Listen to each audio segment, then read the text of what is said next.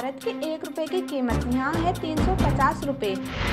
इन पाँच देशों में बन सकते हैं आप करोड़पति। भारत की करेंसी दुनिया में सबसे कमज़ोर मानी जाती है, लेकिन कुछ देशों में हमारी करेंसी की वैल्यू बहुत ज़्यादा है। यहाँ तक कि हमारा एक रुपया तीन सौ पचास रूपए के बराबर भी है। तो आइए मैं आपको बताती हूँ, ऐसे ही पाँच देशों के बारे में जहाँ एक रुपए की वैल्यू वहाँ की करेंसी से ज़्यादा है। वियतनाम, यहाँ एक रुपए की कीमत तीन सौ पचास वियतनामी डोंग के बराबर है। वियतनाम की राजधानी हिनोई है। यहाँ झरने, पहाड़, समुद्र, लेक और बीच स्थित है। इंडोनेशिया इंडोनेशिया यहाँ पर भारतीय एक रुपए की कीमत 206 इंडोनेशिया रुपए के बराबर है। वहाँ की राजधानी जकार्ता है। इंडोनेशिया में किसी और देश के मुताबिक सबसे ज़्यादा आइसलैंड है। लगभग 1400 से भी ज़्यादा। कम्बोडिया। यहाँ पर एक रुपए की कीमत तिरसठ कम्बोडिया रियल के बराबर है। कम्बोडिया की राजधानी नामटेन है। यहाँ दुनिया का सबसे बड़ा हिंदू मंदिर अंगुरबाद स्थित है। प्रागवे। यहाँ पर भी इंडियन रुपए की वैल्यू बहुत ज़्यादा है। यहाँ पर एक रुपए छियासी प्रागवे। वेटरेंसी के बराबर है। मंगोलिया चंगेज खां के देश में इंडियन करेंसी की वैल्यू बहुत ज़्यादा है। सैतीस मंगोलिया टैग रेट एक रुपए के बराबर है। यह चीन और रूस का पड़ोसी देश है।